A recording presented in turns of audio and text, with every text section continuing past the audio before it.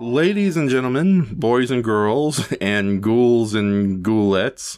So, or should that be witches and ghouls or something? Yeah, whatever. Ghouls and ghoulies. Ghouls and ghoulies. So that's it. We're. Damn it, I ruined it. Well, well. Okay, hold on. All right, welcome to a very pleasant um, nighttime discussion for of the. Damn it, hold on. Okay, That's- breathe. r- listen and breathe, Raf. Breathe. Roger Ebert needed 15 takes. It's okay. Damn it, Gene. Gene was always playing footsie. You can do it. Here we go. Don't put that image in my head. okay, so welcome to a podcast discussion uh, surrounded. Welcome to a podcast. You gave Cop and a half a thumbs up, Raf.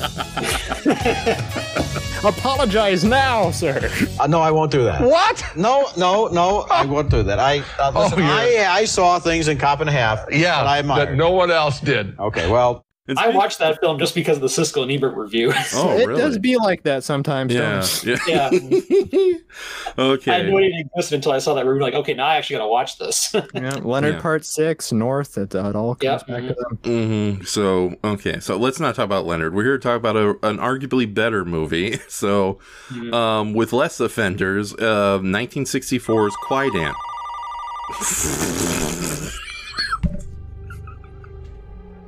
Okay, let me. Is who is that? There's a phone in the background.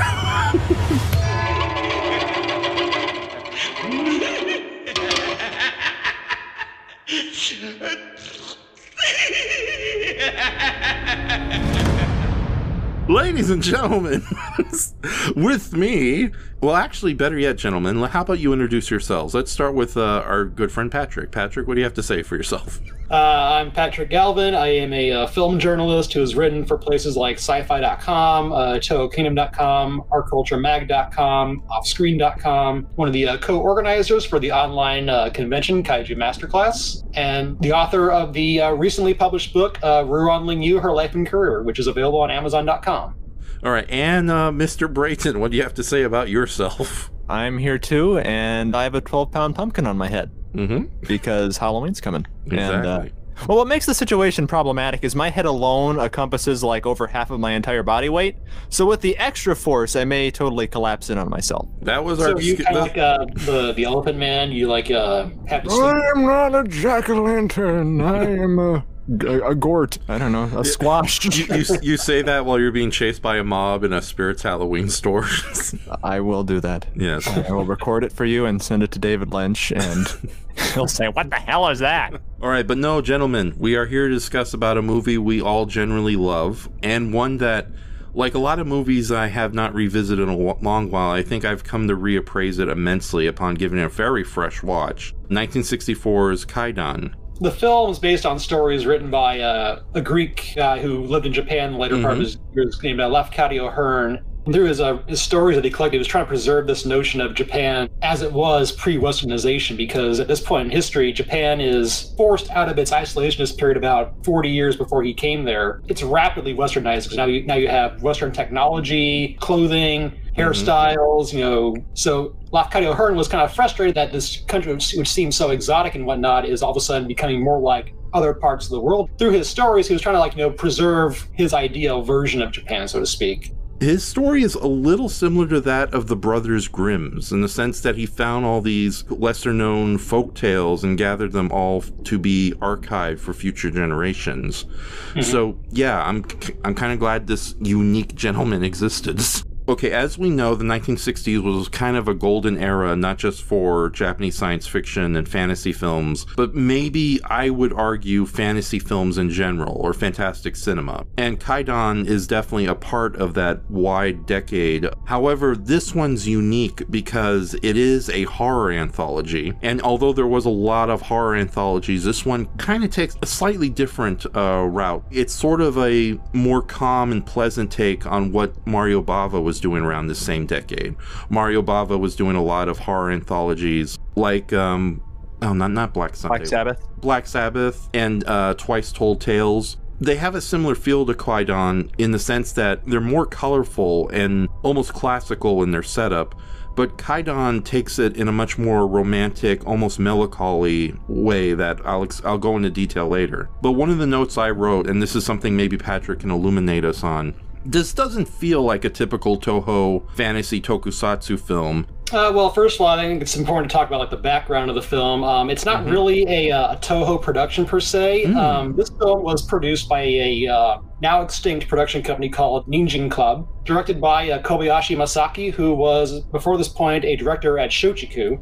Kobayashi was a, a very interesting uh, anti-establishment kind of director. His films almost consistently have themes of like you know individuals against groups or against society, against social trends, and he was always you know uh, butting heads with Kido Shiro. On top of also like the expenditures that he would usually rack up with his films because he was a perfectionist in the literal sense of the word. Toho agreed to finance about like 100 million yen for the thing, but they were only going to give Kobayashi about 30 million at a time. And so they gave him the first 30 million. And at that point, Shochiku decided to back out of the whole thing and they wanted their investment back. So the money that Toho gave the filmmakers had then go to Shochiku to pay back what they owed them for their investment because they'd already spent it on, you know, getting ready for the thing. And so the film was throughout its long production, it was like I think it was about a year in production, which is gigantic, especially for a Japanese film. They were constantly running out of money. Um, at one point, Kobayashi had to sell his house to help finance it. His mentor, Keisuke Kinoshita, loaned him like 50 million or so yen to help keep it afloat. Uh, there were all kinds of things that were going on. It was not shot in a traditional film studio because there were no film studios that were big enough. And he uh, initially thought of shooting it out in exteriors and location filming, but uh, Kobayashi, after the success of his previous film, Harakiri, which was uh, plotted internationally for its great stylized filmmaking, wanted to go even further with the stylization, especially since he was going to be shooting this in color. This was going to be this was his first color film, and he found that you know shooting outdoors where the light changes every ten minutes or so wasn't going to work that way, and especially you know locations change, you know weather changes. So he realized he had to shoot it indoors, and there were no film studios at Toho, Shochiku, wherever that were big enough to support the sheer size that he wanted to go for. So he and his uh, crew were in a helicopter flying over Kyoto, and they found this uh, large, what used to be a military aircraft hangar, which is funny because Kobayashi was so anti-military. Um, so it, it was a former military hangar converted to a storage center for Nissan vehicles, storing like their auto bodies and whatnot. They rented that, and they had to uh, paint the huge cycloramas for, for every single scene. Every time there was a new scene, the cyclorama had to be repainted and whatnot. The sets had to be changed and so on and so forth. There had to be scaffolding so the lights would not be visible in the shot, given how Kobayashi's like you know wide shots that he wanted to go for. And because the lights were so high, the lights had to be extra strong to reach down at the bottom of the set, which meant the lighting was very expensive as well. All those things combined with Kobayashi's perfectionism meant that it was a long, long shoot. And Kobayashi um, was interviewed by a woman named Audie Bock, who uh, used to be pretty active writing about Japanese cinema. She's now involved in like politics, I think. But um, but but, uh, but uh, she um, wrote her dissertation about Japanese film directors in the 70s, and so she interviewed Kobayashi for that. And Kobayashi told her that on an average day shooting Kwaidan, they would only get maybe three successful takes in a day. All those reasons combined led to a very long production schedule, and the film being very, very expensive. At least Kurosawa was notoriously thrifty and always under schedule, so Toho didn't have to worry about that. No, so there's a good chance this movie came close to not even being finished because from what you're telling me, it sounds almost like a an Orson Welles level epic that barely could keep together. Toho um, actually took out insurance on the film's negatives just to cover their asses in case something Wow. happened. And they actually sent a quote unquote watchdog, somebody from their studio, to like, you know, keep watch on production to make sure things were actually. That was the eye. Yeah. That was the eye in the sky. okay. and so- that's the, that's the significance of the eyes. biggest takeaway I think a lot of people have, and I certainly have, are the visuals. And it is hmm. interesting and remarkable how this was his first color film. He's one of my newfound favorite directors. Obviously, I haven't seen a bunch from Kobayashi. I've seen The Human Condition and like Harakiri and Samurai hmm. Rebellion. But those films are so rich in their black and white cinematography and what he creates such beautiful images in the frame. And it's funny, his first color film, how much color do you want in it? All of the color. It's a wonderful watercolor world he's created. yeah. And- Well, you know, and Kobayashi, um, you know, before he became a filmmaker, he was um, studying to be an art historian. I should say, like, his mentor was a student of Lafcadio Hearn. Uh, mentioned so it all ties back. wow. So there's a, there's a lot of connective tissue going on here. But yeah, Kobayashi loved Oriental art, and from a young age he wanted to be a film director. But once he got into uh, Waseda University, he became more interested in arts. And the reason why he went back to films was because World War II was coming out, Mm. and Kobayashi felt like you know it could take me decades, maybe a lifetime, to leave an important mark on the world of art history. And with the war coming up, I'm probably going to be drafted. and I may not even live to do that. So with movies, though, I can probably have a better chance of actually leaving an impression, something that will actually last. And unfortunately for him, uh, even though he then joined Shochiku, um, was he was then shortly thereafter drafted and then sent over to China and didn't get to direct a movie until he came back years later. But um, anyhow, back to what, what I was getting at is that you know he uh, studied um, Oriental art, was you know very much enamored with it, and knew it very, very, very well. So that definitely plays a factor, I would say, into how this movie looks. I mean, of course, he was also like very open to. Um, he wasn't controlling in the sense of like with the like the art staff. Like he would let the art staff bring their ideas and do their work, and he would just like come in like make corrections and adjustments. But you know, he knew his stuff very, very well when it came to arts and the visual look of things Yeah. which definitely I'd say plays a big factor not only in this film but all his movies. His movies are all very, very beautiful to look at. At least all the ones I've seen.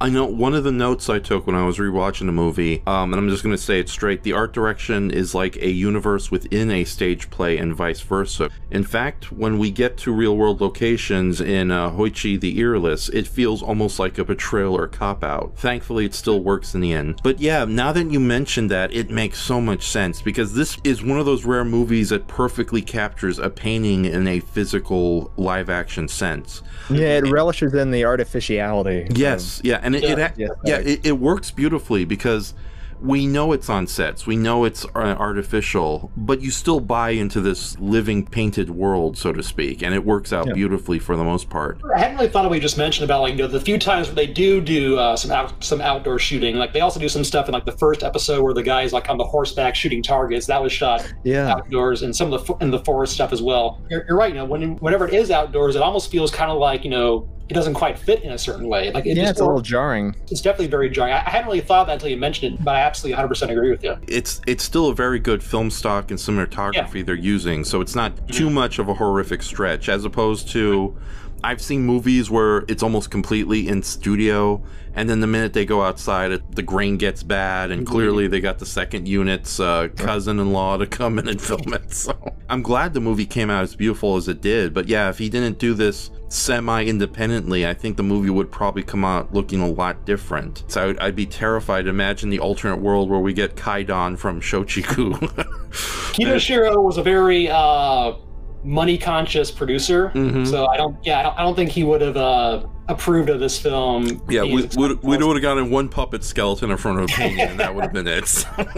okay, so what's your personal introductions to this movie? Personally, for me, and I'll try to keep this as short as possible. I had this book, forgot what the title of it is, but I know it was like a big book of fantasy, sci-fi, and horror movie reviews. I scanned the thing to find any interesting movie I could find, and there was a Kaidan. I've never seen it before. And the only real Japanese horror movie I saw beforehand, not counting like maybe The H-Man, was Onababa. So I rented it from uh, the local library. It was presented in widescreen, so I didn't get any cropping or anything. After seeing the movie, I read up on it on other reviews and other movie websites of the day, of the early internet. And unfortunately, American audiences and reviewers seem to misinterpret the film as something more cynical and mean spirited, which I don't know if it might be like a cultural disconnect between our country and foreign media in general. I remember heavily there was a lot of um, misrepresentation of the film, and especially the ending to The Woman in the Snow. People saw that more as like a cynical gag than the actual bittersweet tragedy actually is. I'm not as big or not as experienced with classic Japanese cinema or the greats of Japanese cinema as you two are. But I came to this movie just as a lover of uh, fantasy filmmaking and storytelling, and I adore this movie a lot. It's not exactly one I revisit constantly, but when I do, it's almost, it always grips me. I first saw this on the, I think the last week they were before they folded on uh, the old Filmstruck before they Oh. eventually got uh, picked up Rest by in peace. Criterion Channel. Yeah. yeah. I was trying to watch a bunch of stuff on there while I had the free trial. So like all within a week I was cramming. Uh, I watched uh, the two um, Akira Takarada uh, sort of James Bond riff movies. Yes. Uh, Yes, which Patrick recommended and which were loads of fun. And I watched this movie and it stuck with me. Prior to that, I had seen screen grabs online and just visually it was so arresting. And then a few years later, during COVID actually and lockdown, I uh, re upped my Criterion channel subscription and tried again to watch as much as I could. And I rewatched it. For me, anyway, and this time around, it works and it's not a length issue, but I like watching it best in segments because, especially since there's no wraparound or, you know, something that holds all the stories together in a narrative sense. I think it's one of those movies that you can watch in sequences and still get as much out of. And in the case of an anthology film, you know, nothing feels too rushed to me, even though the two middle segments feel like they had the most uh, attention paid to them, I You, will say. you know what's funny? Yes. Now that you, I'm just going to briefly say this. This is a movie where I know it's almost three hours, but it well, it's not really a full three hours, is it? It's It's a little more than three hours. It's like three hours and two minutes, I think. yeah, and, and yet it moves at a pretty brisk pace. You don't even notice that. I don't know if it is because of the anthology uh, format Yeah. or it's just you know that well done of a movie. So even the weaker segment at the end still holds up in its own right. So well, we'll get to that soon. But Yeah. Patrick, We'll get to it. yes, It's not my cup of tea. Hey! Here's a rubber star for the pun. Take And it. that was an opinion and a pun at the same time. Yes, exactly. My So- opinion, yes. Yes. But Patrick, what's your experience with this film? The first time I saw the film was through the uh, old Criterion release, which had we should we should probably mention this really quickly. There have been throughout history multiple versions of this film. Uh, when Kobayashi took the film to Cannes in 1964, the Cannes Film Festival had at the time a limit of two hours that they would screen a film for. Kobayashi cut his definitive version from three hours and eight minutes or whatever it is down to 161 hoping that would be a good compromise that, that he could then negotiate permission to show that version at the Cannes Film Festival. But the festival was very uh, rigorous in its rules and said, no, it's got to be two hours we don't run the thing. So Kobayashi then cut out, which I think is what a lot of people's favorite sequence, which is the woman in the snow sequence, and then shortened the remaining three parts to bring it down to like an hour and 25 minutes, I think it was. And that 161 minute version that he made as a compromise is what sort of survived and circulated and was shown in art houses and whatnot. After Kobayashi's death, the original version was restored and in like 2016 or so was uh, released by Criterion. So the film was re-released by Criterion this time in the full complete version. So I saw it that way as well. I think like anybody who really gets into Japanese cinema, eventually you come to Kobayashi's work. Uh, you mean, of course, you start off with like you know the big famous people like Kurosawa and Ozu and Mizoguchi. But when you become really curious, you start looking into the more obscure masters like Naruse and whatnot. And so Kobayashi is one of those figures you just inevitably learn about. Like this guy who made relatively not so many movies, but you know is regarded as one of Japan's great masters. So inevitably, I think you come around to watching his works. That's so that's basically where Quite on a Ride for me. And uh, yeah, it's just a it's a film that I've been awestruck by since I first saw it. It's just it's just so visually overwhelming. It, it's hard for me to really verbalize it, but it really just you know it, it's just a, a film that I find very overwhelmingly beautiful. Uh, Although I do, I do kind of agree with Brayton in a sense that, uh, in some ways, I almost kind of like watching this film uh, out of sequence at points because I like parts, I like certain stories more than I like others. Are we all in agreement that the final episode is the weakest of the four? Yes, I think. Why like- don't you cut that one? Yeah. Kobayashi. That's yeah, that's what that's what I was thinking. Like, if you're, yeah, this if- must if- have been like a whole new movie when they like people rediscovered it when they put the story back in. Yeah, because that the woman in the snow sequence is, is brilliant. Yeah, Yeah. it's prob yeah, it's probably like not the most iconic, but it's pretty up there. So it's like yeah, and I watched it because it's my favorite uh, segment, and I actually watched yesterday uh, Daiei's version of Woman in the Snow, which Oh, good. it's it's not it's not at the same level, but I, I think it's pretty darn good. It's a very unsettling story, but lopping that part of the movie out really would do a detriment to it. yeah, that that's like playing the Twilight Zone and not showing any of the major classic episodes. Like Yeah. Eye of the Beholder, put that crap on the back burner. Bye. Hey, that- Aren't, doesn't Cannes encourage you to make movies long as long as possible these days? Doesn't it totally flip? it's pure atmosphere as far as its uh, visuals and execution goes. And with that says, do you think this movie is more true the tradition of old gothic horror films, like a lot of the silent German expressionism films, than most horror that's ever come after the 40s. It almost seems to me like a film that's more like a uh, artistic expression than most anything else. Like I, I'm not an expert on like Japanese like you know classical art. I, I, I do I do recommend people um, uh, see it. I, rec- I encourage people to seek it out. But uh, I'm not really sure how I can how I can word this. People probably aren't used to seeing this kind of a film so much these days. If that makes any sense. Yeah, the subject matter has been done before and done since, but the way it's executed Yeah. is just perfect and unique for this experience alone. Now we can kind of go a little bit into spoilers and just talk about, you know, the particular. Holy crap, there are ghosts in this movie. Oh my god! Ah, ah, ah. Ooh, a quarter. That's. I think the lesser of the better stories though is the black hair, the first one, but it is a really good opening to the whole story, and it's fun. and significantly shorter. yes, than the it's other two. significantly shorter, which I think is a good thing. That Yeah. it doesn't feel drug out. Yes. Yes, but no, it's a good opener. And it kind of calmly eases you into the world of the supernatural because at first you can see it as sort of a domestic drama with a bit of a kind of um, a sadly comical edge. You know, this this man who's so sick and tired of living in poverty leaves his wife to marry basically a snotty, high nosed royal. Pure, not out of love or anything, purely to uh, Yeah, yeah, raise up in the social status. exactly. Yeah, Very five, rash five, five letter decision. word that rhymes with witch and starts with a B. What you're thinking of? What was that? Nothing. Nothing. the, s- the snow, the snow bitch. is what it's Oh god, that's the Asylum remake of A Woman in the Snow. So The the um the snow bitch actually was my nickname for Sarah Palin for the longest time. That's changed with her falling in the social status. Right, her giant eyeball looking at it uncompleted highway. So- Yeah. It is interesting that the first two episodes are, are really about like you know these uh, female ghosts who are who feel betrayed by the men that they love. Yeah. Mhm. Yeah. But it's like rewatching the film, the dialogue sequence they have when him and his wife are reunited is truly sad. She says it's wonderful to see you again, even for a brief moment. Yeah. And to him, it's like, don't say that. We'll be together for nine lifetimes. But for her, you get, you know, it's pretty clear she knows she's dead, or she knows there's, you know, she's n- she's not along with this world. But at least they had a brief moment of reconnection, Yeah. and it really is more of a of a tragic story than a sort of gotcha revenge tale that you see in a lot of horror tales. Like again, the movie eases you into the supernatural. At first, you just imagine it's just a period drama with a little bit of style to it. Before the poor guy realized, oh my god, I slept with a ghost. I feel for him a little bit. Maybe not.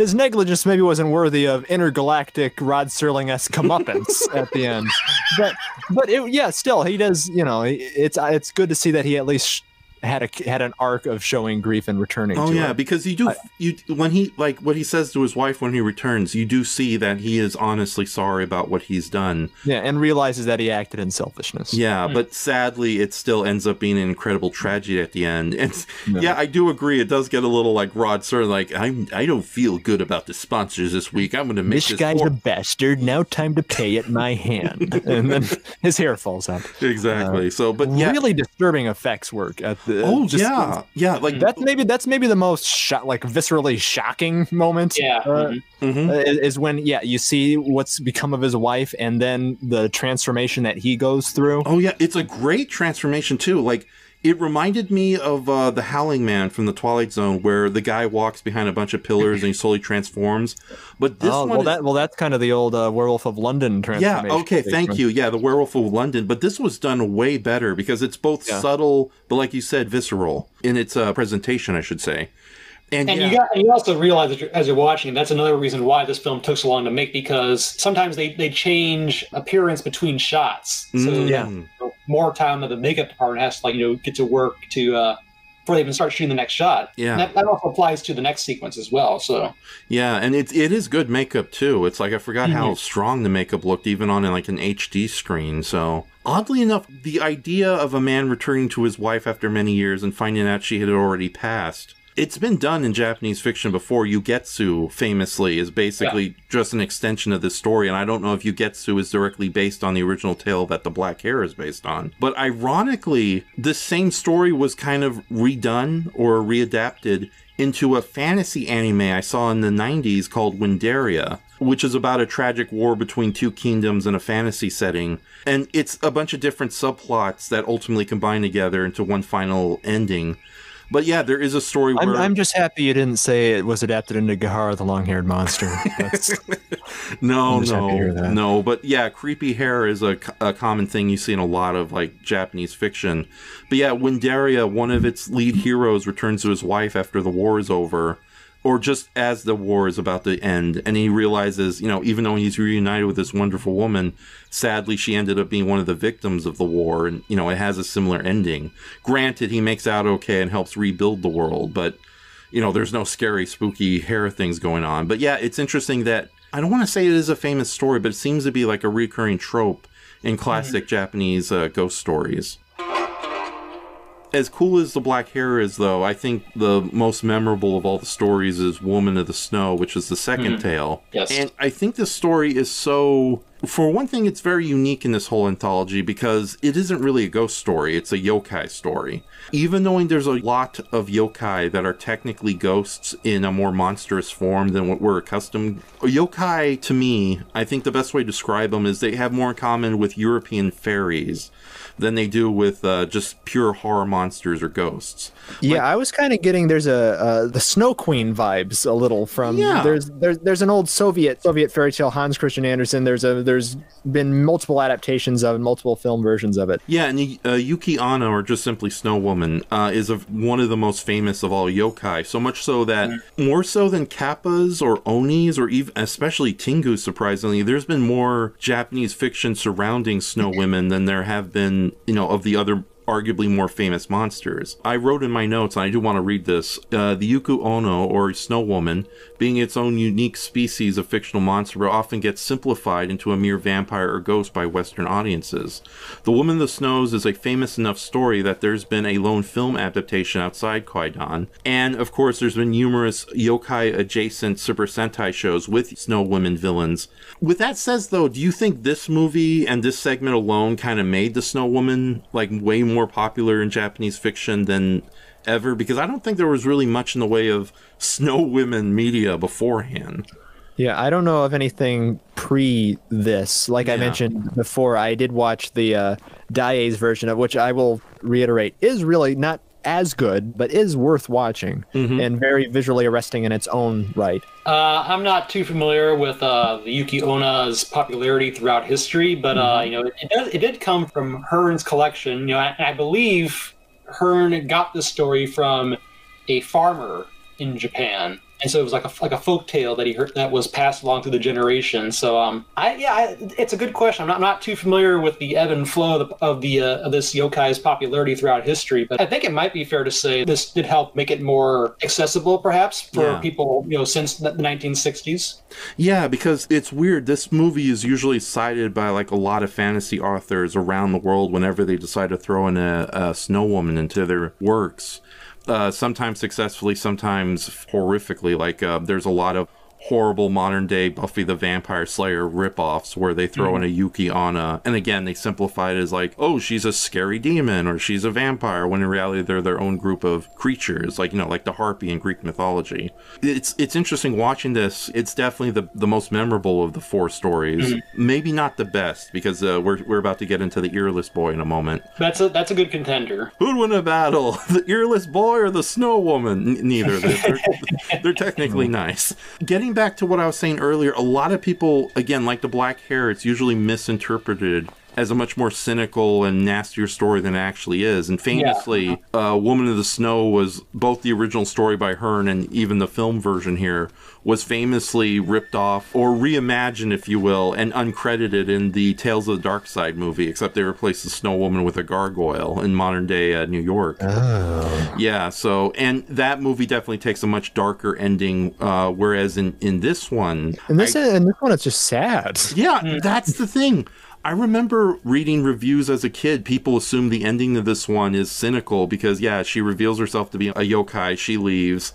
And then it's, I remember some American reviewers cynically saying, oh, yeah, and then he throws the shoes out for her. So, but no, that's not him throwing the shoes out. That was him mourn mournfully and and sadly and lovingly still giving her the shoes and of course the fact that the shoes disappear soon Yeah. after that really hits you in the in the heart right there it's, mm-hmm. oh my god they still love each other but the Yeah, ma- and then he ha- and then he has a breakdown all by himself, Yeah. and the spotlight shines down on his mourning or loss. Exactly. So yeah, it really it, they were so wonderful together. They had a, a really big family of three kids. There was a lot of Yeah. there was a lot of yokai human loving going on there. Yeah, that's another thing in the die. The, the the spoiler alert, I guess. The ending of the Daiei movie plays out very similarly. But yeah, one of the one of their children has a comeback Shane type moment as the snow when he goes into the oh, distance. So yeah, oh my god, that's even sadder. yeah, no, it's not gruesome or anything by any stretch Mm-hmm. of the imagination. Well, she, I mean, she does kill his buddy, but you know, other than that, fair, she's a, she needed he blood. probably deserved to die. yeah, yes, he deserved to die, and I hope he burns in hell. How do you like that? or freeze in hell in this case. Yeah, he's not important to the story. It's a much more of a drama, like a full-fledged drama of a supernatural story, and then a love story, and then an oh my god reveal. And the acting by Nakadai Tatsuya and, Keiko, and uh, Kishi Keiko is like no, it just couldn't be any better. Such wonderful chemistry for this bit too. And Kobayashi did use these two quite frequently throughout his uh, career. Um, And but his use of uh, Kishi Keiko, who plays the Yuki Onna, is particularly interesting because she rose to fame about ten years before this in a trilogy called "What Is Your Name," which was a very mawkish, sentimental, uh, romantic epic. And when she played the uh, stereotypical, like you know, weak girl in love who's too meek and shy to shape her own destiny. But Kobayashi definitely spun that image around when he used her because he routinely cast her in these in these much more vicious, in command kind of roles. Actually, there's a if I would recommend a, another film that he made that she's in, film called The Inheritance about a patriarch who's dying of cancer, trying to out his inheritance amongst his children and whatnot. And she plays his secretary who becomes his mistress and she kind of like you know starts out as like this outsider in the story then is kind of like you know working the narrative to her own advantage and kind of using him as the story goes along and she's great in it and kobayashi loved to use her in these kind of roles so um, it's just fascinating looking at her the trajectory of her career how she goes from playing what is her name made her famous then making films like this where she's just, where she's like you know sub where she's basically in command in control has total power over the men around her. It's it's very fascinating in that sense. And yeah she's great.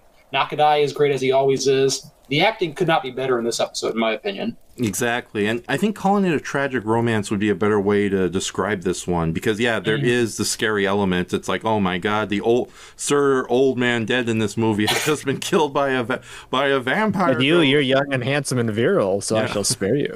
Yeah, and, and oh god, that's another thing. This is a movie where you discover something new when you rewatch it a second or third time. Yeah. time. Mm-hmm. And yeah, according to her, the way her dialogue goes, it's obvious that this uh, Yuki Onna lady has been kind of uh, stalking our our hero Minokichi the whole time. Like she's aware that he's a local. She likes him. She fancies him. She was like, you definitely get the feeling that she's been, you know, kind of watching him from a distance, even when she isn't on screen. So the fact that she chose this person to be her husband in the human world, it really is extremely romantic. And again, just adds. and a believable romance too. you know. Yeah. it's, it's, it's not just she was playing him the, for the long game and then pulled an aha, fooled you at the end. There was- there- Take that, human! Ha! yeah, there, there's an element they really had. It. There was an affection there. Yeah, mm-hmm. exactly. And an affection that remained even after the. It's not really betrayal. It's like, again, he just. It was from so long ago, he didn't even think about it twice. He was with a woman mm-hmm. he loved. Yeah, true, it was foolish. You don't, you know, destroy the magic spell just like that. But in a moment of yeah carelessness yeah. carelessness, thank you, that, you know, this wonderful relationship and the magic spell that was kind of keeping it together broke apart. But even then, even And at- she was giving him vibes. I mean, she turned blue for God's sake.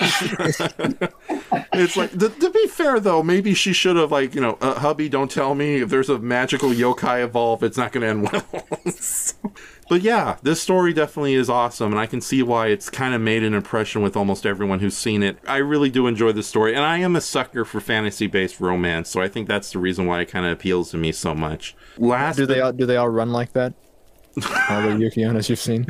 She's got a she's got a great run. Yeah, to be fair, I think she's the only one who I've ever seen run in these films. Usually they just they Really e- yeah, they they either just float away majestically or they just, you know, teleport and all that, but yeah, this is the only one who like runs really fast when she's found out. Almost a little comically so. It was like, "Help me, giant eye! I need to get out of here, quick!"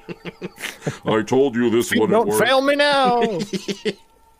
Oh god. yeah, yeah, I, I do love the the the giant, all-seeing, floating eyes. Are Mhm. real again a really cool uh, artistic touch. Kind Yeah. of uh, yeah, kind of a Salvador Dali spellbound esque. Yeah, and I with love the giant floating surreal eyes. Yes, and I love how the giant, the giant surreal floating eyes are kept ambiguous. Like, what the heck are What the hell things? is Yeah. that? Yeah. Yeah, it's like, is it just a, a just a visual style uh, decision on the filmmakers, or is there something like a greater supernatural force that's watching this unfortunate story uh, unfold? I think it works. You works. definitely quite see images of, of uh, these eyes uh, throughout Japanese film history. Like there's a uh, Kurosawa's Rhapsody in August, for example. I haven't seen the film in a while, but I believe it's a sequence where a Nagasaki survivor is looking at the sky and thinking about about the Mhm. bombing of Nagasaki. And she sees like this giant eyeball kind of like you know open up in the sky before her. Hmm. Uh, I could I could be misremembering the context of how of how what led into the scene, but there is a what stayed with me since I've seen that film is the the eye opening in the sky,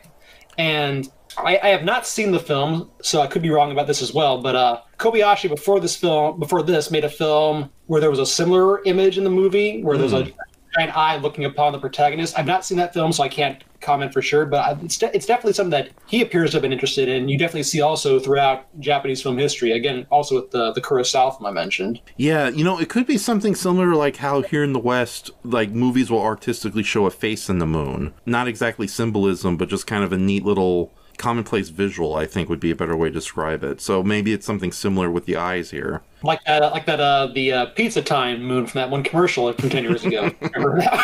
Sure, Patrick, we'll go with that.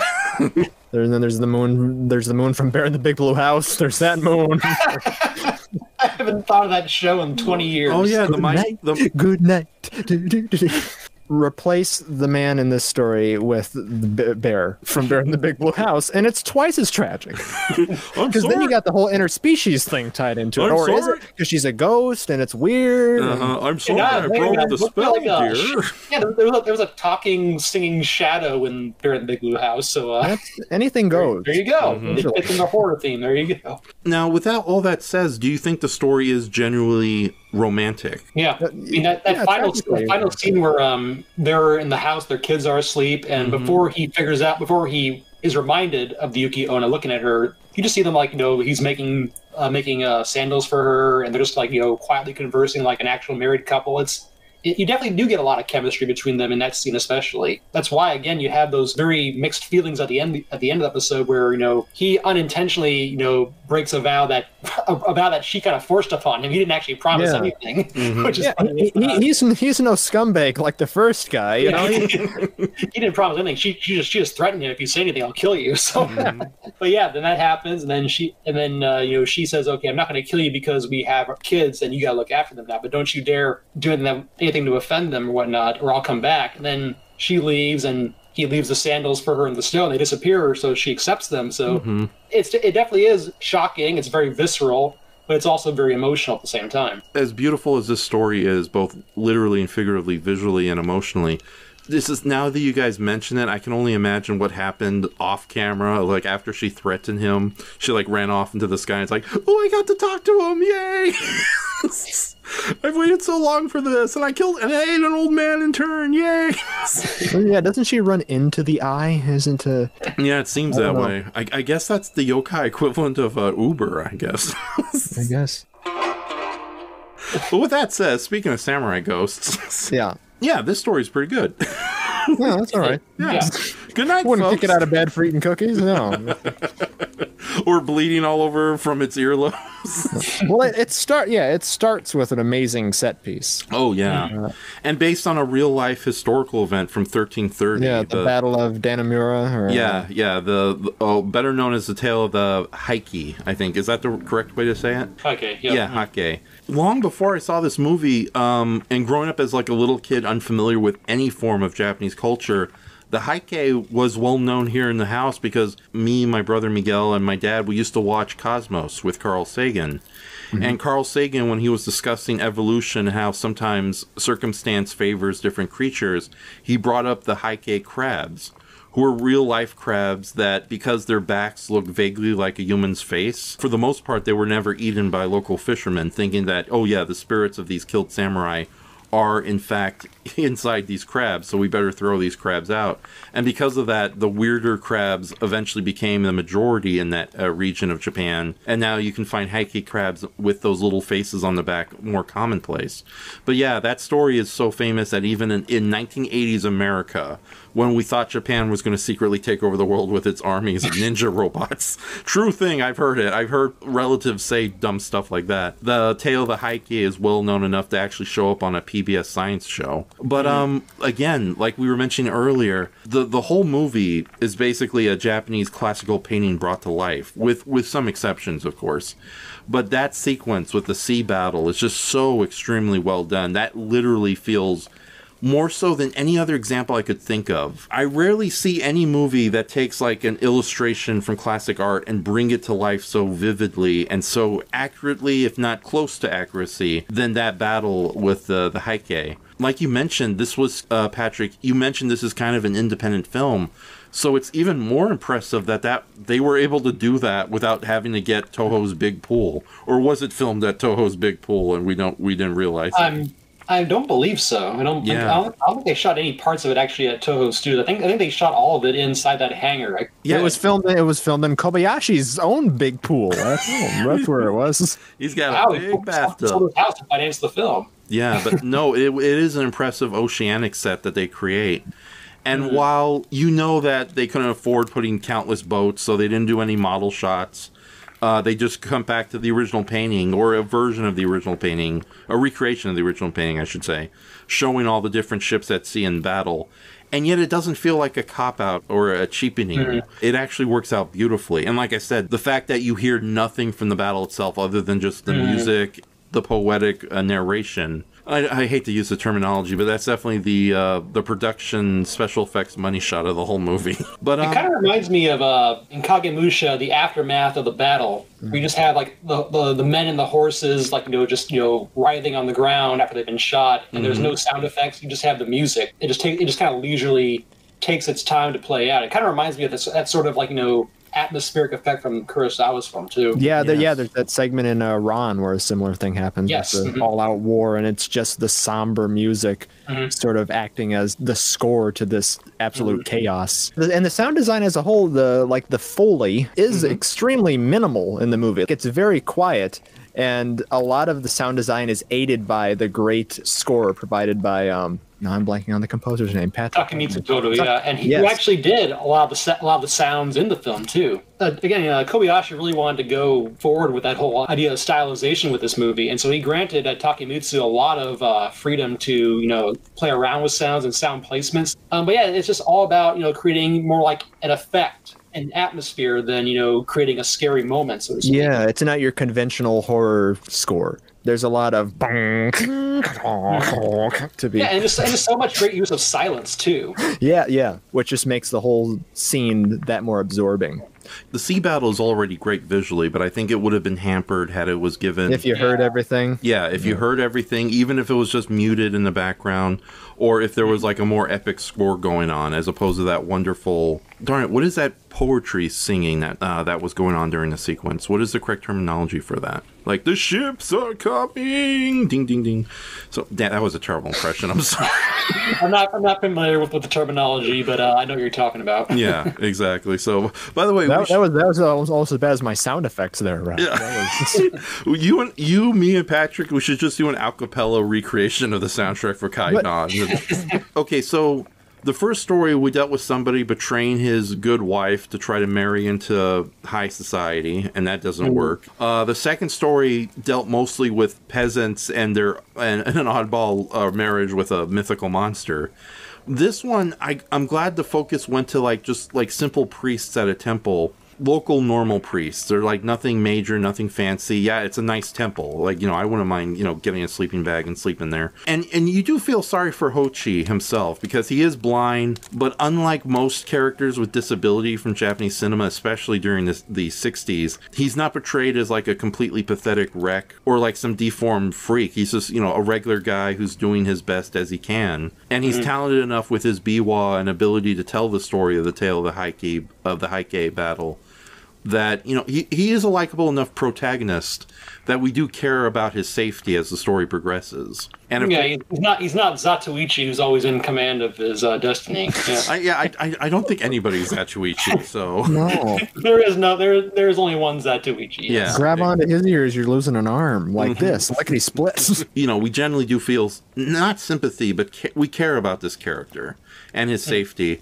And I do love how the movie kind of hints that even though he's blind and the ghosts seem to be you know pleasant towards him at first, you know we do cut back to the villagers, you know burying their dead, and y- oh yeah, these ghosts they're a common problem around here, and they do kill people after a while. So I understand that there is sort of a there is a threat, coming in threat that we do need to protect Hoichi because yeah, his first meeting with the ghosts went fairly well.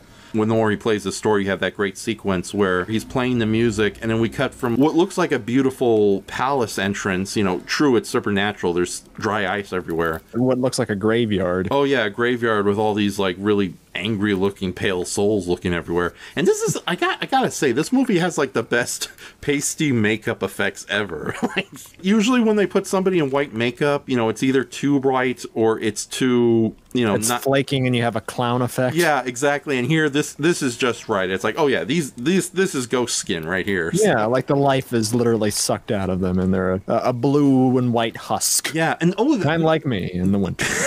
Yeah, but um, you know, the great thing about Hoichi the Earless is that that effect where you become more pale the more extreme you deal with the supernatural.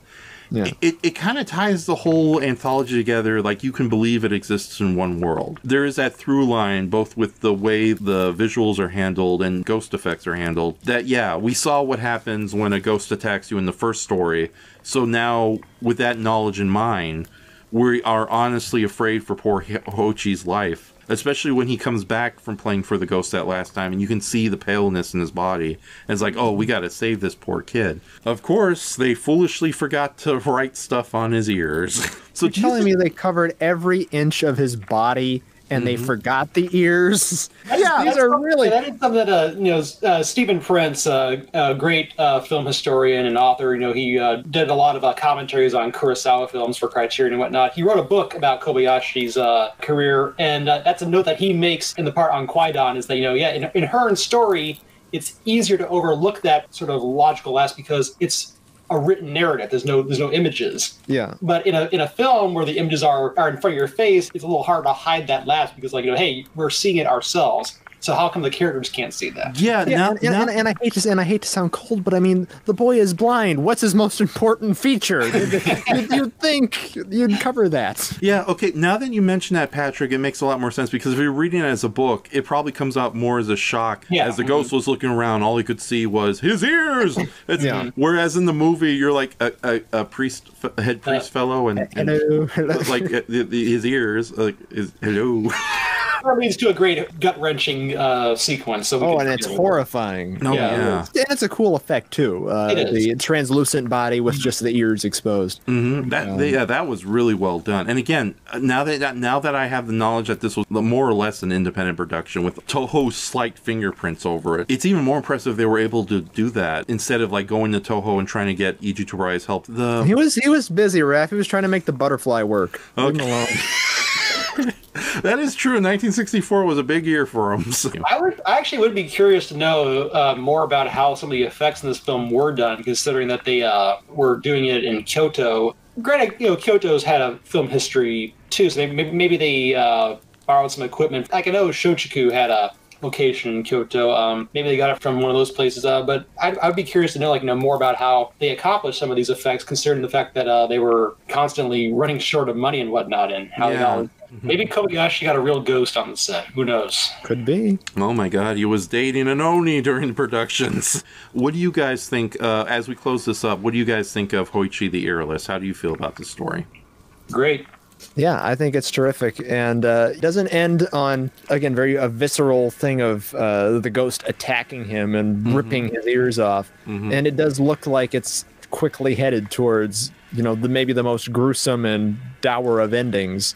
But uh, it is nice that he does achieve a bit of fame at the end and contin- continues to play. If they got rid of the fourth story and had this movie ended with uh, Hoichi the Earless, it would have been a more triumphant movie. Because, like the narrator himself says, like Hoichi grew up to be a very wealthy man. So, granted, he'd still probably be a priest. So, but oh, wait a minute. Yeah, the church is always wealthy. Never mind. All right, so I don't have a lot to say about the last one. I have a lot to say about the last one because Okay. that actually happened to me once long ago. I want to hear that. That's what All I'm right, that's gonna yeah. be the payoff. yeah, it was weird. I was cut that part out of the. Out of yeah, the I was I was at Burger King having a milkshake, and there was like there was like a, a unknown Japanese lord just smiling back at me, and it's like, yeah, my milkshake, and he's like, no, And and and then an employer at Burger King looked in the milkshake, and it was you doing the. I love I love the little Beverly Hillbillies Jed Clampett wave at the end. Y'all come back now. You.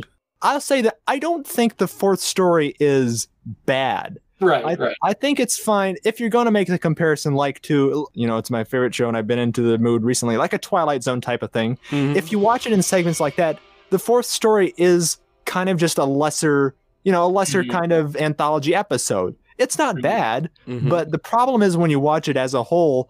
To me, anyway, after the you know the first uh, story is a good setup, and then the Mhm. second two are just you know Right. phenomenal short films in their home own right runs, yeah, Yes. out of home the runs, yeah, out of the stadium, into the air, out of the universe. Great. That I just really wish, man, they could have switched switched the order around, or with the whole con story, if you would have just cut off there with uh, Hoichi being a success from Mhm. even even you know deprived of his ears. It would have been a good ending. It would have been a suitable way to end the film, and it would have come under three hours, and everybody would have been happy. Um, yeah, it, it just has it has a hard time following the act of what came before it. is the Yeah. problem. Yeah, to where it's just it's just slow decline. It's not you know what the hell is this, but it's just it doesn't live up to yeah what was before. Yeah, Mhm. you know, I okay, we we me and Brayton have mentioned multiple times how much we love the original Twilight Zone television series, Mhm. and even at its weaker episodes, it was still a fairly entertaining yarn. Yeah. Um, but yeah, I, I used to be a total season four naysayer, but some of those are actually pretty darn good. You know, Yeah. get in the in the context of their own uh, production history. Yeah, and we say this even before the horrible remakes and reboots came into existence. So, so I, I grew up with the '80s one. It's like Grandma is great. uh, The episode from the '80s Twilight Zone, Grandma is visually fantastic, but the child act and a narration in that oh, kills it basically.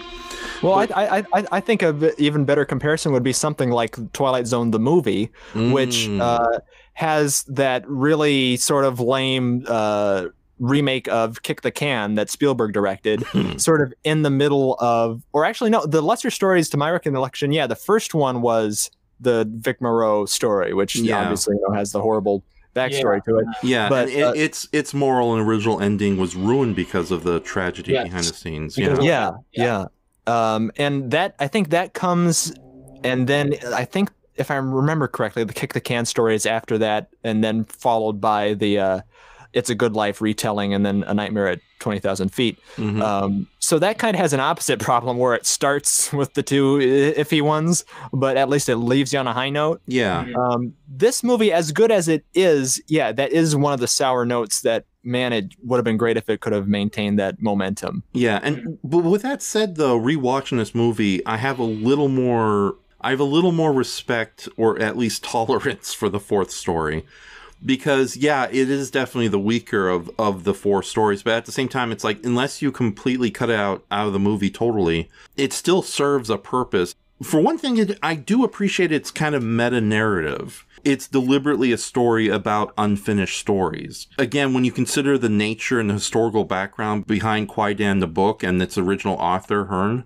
there are a lot of stories that are lost to history or stories that remain incompleted. H.P. Lovecraft, uh, he had something called the Commonplace Book, which is basically his notes of various stories and concepts he wanted to do, but they were never fleshed out. And I think it is interesting that they actually do include a story like that into the movie to remind you, first off, uh, how much of a triumph it was that Hearn was able to save a lot of these stories for future generations, but also how much of a tragedy that a lot of these stories are either incomplete or semi lost. So I do appreciate that they do kind of end this narrative movie about ghost stories with a story about ghostly narratives, um, or the lost nature of um, ancient media or ancient t- fiction, I should say. It's it's a perfectly competently told and acted. You know, the, the main actor is fun and he's laughing. I love his crazed laughter. Oh yeah, yeah. What's interesting about his character, the samurai, he's kind of a stubborn cop who've all of a sudden kind of pissed off these otherworldly uh, asshats, for lack a term. Yeah. um, and with, and with that says the last film, like it's funny because the first story, the third story definitely deals with ghosts. Uh, the second story, Woman Snows, is more yokai based. Yoko Ono based. Yeah, as I say. yeah, you had to, you had to. Um, but the last story, it's never made clear who the supernatural threat are, and you almost get the feeling that, like a Twilight Zone story, they reminded me less of ghosts and more of that one Twilight Zone episode where people at a bus stop swear there are like doppelganger style invaders from the mirror trying to take over their lives. Um, so yeah, that story reminded me more of that, especially with like sh- um, the the supposed main villain ship. Uh, Lord Sh- Chikibu Henye. I, I, said- I totally bu- butchered that name. Lord boom tricky boom boom chicky boom. Yeah, Yeah. Lord Hine, the the the uh, the guy who appears in the cup of water at the beginning. It's like what's his- smiling at him, saying, Yeah. "Hey, what's up?" yeah, is he a ghost or is he just a samurai lord from another dimension or what's going Just on? a trollish specter. you know? Yeah, yeah, exactly. And with that says though, it is interesting that you could leave the story up to interpretation. It's like on one hand you could see the tale about kind of an everyday, like somewhat stubborn samurai going mad. On the other hand, you could see it as the beginning of like a, a big epic where this guy has to, you know, face against his destiny to fight these weirdos. But yeah, I But do it, does- it does have a kind of a comic edge to it, though. Yeah. You agree? Because he is, he is, he's not the, you know, your Tatsuya Nakadai Toshiro Mifune badass by any means. yeah, yeah, he's he- kind of dumpy, kind of like a, yeah. kind of like a uh, Japanese. Uh, oh, this is going to be a bad comparison. Kind of like a real Japanese Mickey Rooney. He's not that bad. well, I'm, I'm just saying, Yeah, and well- it goes back to what I was saying before. Why, if I am going to recommend this film to someone, which I absolutely am, uh-huh. Mhm. I do think the best way to view it, uh, you know, a newbie who may have a problem with it being three hours long, would be to watch it how I watched it this go around, which is in segments. Mm-hmm. Uh, like I don't think it's a bad story at all. Again, by itself. Yeah. mhm. On its own, like again, I appreciate it on a meta narrative level. Do you think it works as sort of like a an odd little? Oh yeah, this is a a, a little extra encore epilogue. It's like it's not as good as the first stories, but here's one more just for the road. Yeah, I, I- yeah. I- I think Brayton and I are on the same page in that you know, we're like, no, yeah, we don't think it's a bad a bad story at all. It just kind of has, just kind of has a, a hard time following the act of what came before it, and you just kind of just kind of want a, little more punch at the end of it. Something with a little more meat to it. Yeah. Mhm. So with with that says though, I remember a, many times I introduced this movie to other people. Like usually that fourth story always leaves a bad taste in their mouth, and I don't know if that's just a first view. Well, that, well, that can happen with movie endings, though. You know, and I don't think it's the case in here because of how it's structured.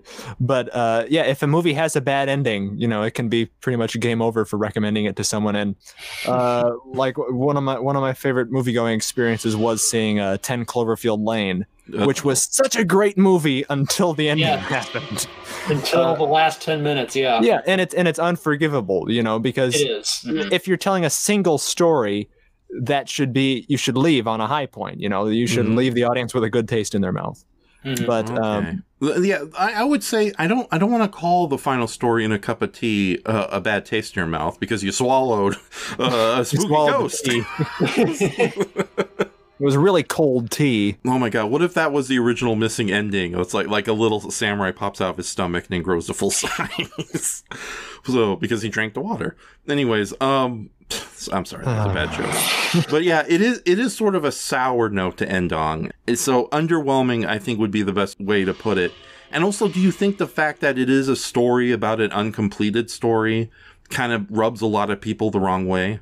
I can only speak for myself. That's not the problem whatsoever. I, cause I, I kind of, I, I share your, what you're saying. I, I kind of like it's a story about stories. Again, I just, I just think that it just needed a little more, Umph. a little more punch, a little more punch to it to make it a little more memorable, a little more visceral. Because it's the way you're, you're wrapping up this whole thing. It just feels a little lacking for me. Okay, because yeah, it's like famously every time I showed this this movie to other people, like my late friend Mark Tucker, like he's really hard to please with movies, and he was really into Kwaidan. But then we get to the last segment, it's like ah, um, maybe I should return this.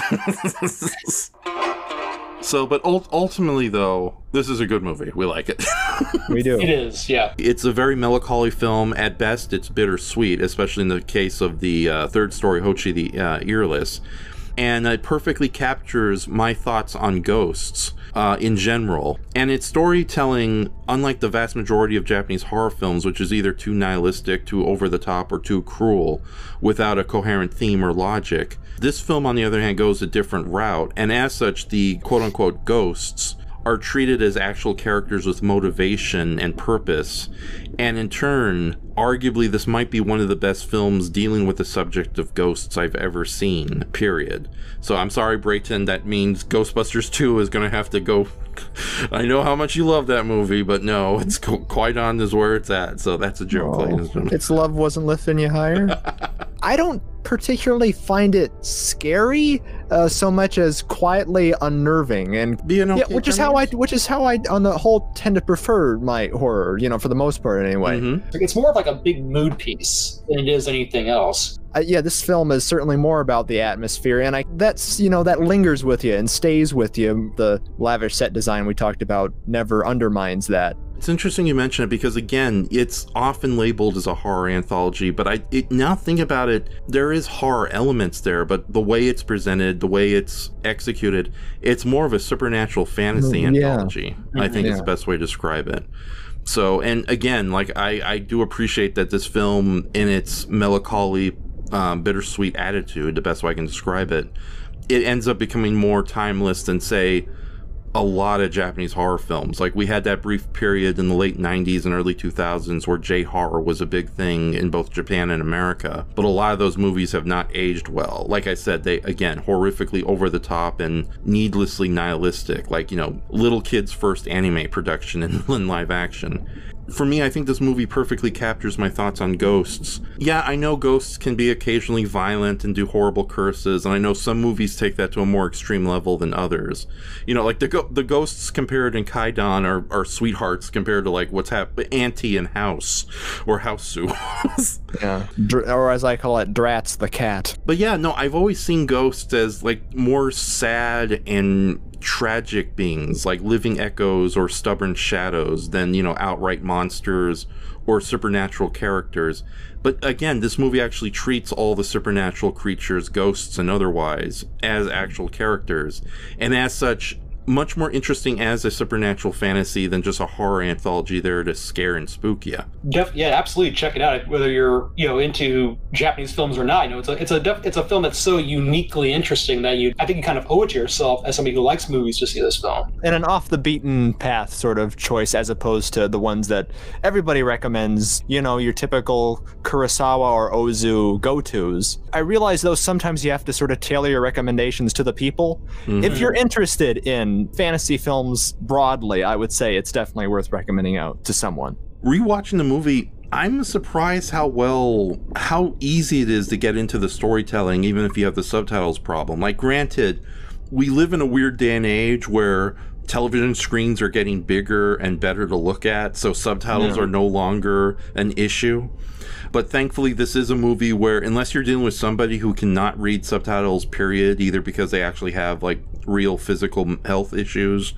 or they are just you know proudly viciously anti i think this is a movie that's easy to get into even if it is just subtitles although with that And, said- and it's not and it's not extremely talky, which Yes, helps. yes, it's not loquacious by any sense. yeah i don't want to call the dialogue or narration simplistic but it definitely gets the point across and i think it adds to the movie's timeless almost universal appeal It's it's a very accessible movie in the way that it's communicated and told. yes Uh, I, I think yeah, anyone from any part of the world can get into it. Yes, and I'm very happy you guys were able to join me. Brayton, thank you for coming up with this idea in the first place. And Patrick, I, I feel I feel confident that the next generation of Japanese cinema writers here in America are are secured with you around. Thank you, Raf. You're Appreciate welcome. Yeah, unless of course you go back to your original wife and her hair attacks you, then things are going to get. Yeah, that, that could be a problem. Yeah. yeah. Okay. So. Patrick is constantly being attacked by the supernatural. Oh yeah. Well, he knows us, and you know, you and I are secretly mythical creatures. So I won't say who. That's for another podcast to find out in the future, kids. Okay. So, do you guys have anything you want to plug before we call it quits? Uh, Raf and I do the movie Graveyard Shift every Sunday. This will probably be uploaded later in the month, so I don't know what we're doing closest to when this is released. Mm-hmm. But at time of recording tomorrow, we're doing uh, Woman in the Dunes, which is another great Japanese l- psychological horror of sorts. Mhm. But, uh, But yeah, if, if you ever had a fear of getting stuck in a ball pit, like at Chuck E. Cheese, this is going to send you into anaphylactic shock. I'll tell you that. Uh, so, and Patrick, Uh, sure. My book is called Ruan Lingyu: Her Life and Career. It's available on both uh, Kindle and paperback on Amazon.com. It's about a great uh, Chinese silent film actress who was in Shanghai in the 1920s and 30s, who unfortunately, because of various circumstances, uh, took her own life when she was only 24 years old. Documents um, her life, uh, her career, and documents uh, the story of her industry and also of China in the early 20th century. There's a lot of connecting stories that were going on during her short 24 years on this earth, which I think makes for a very compelling story, which is why I wanted to tell her story in the first place. yes, Uh, that's where yeah, you can find it on Amazon.com in both uh, Kindle and paperback. I am honored that I was able to supply artwork for the book, and I deeply appreciate you giving me that opportunity. Poor lady needed fan art, so.